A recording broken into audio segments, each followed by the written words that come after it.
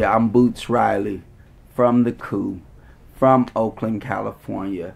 I'm sitting here chilling in a hotel room with the Archivest, and he has 30 million questions on this paper. Keep it locked.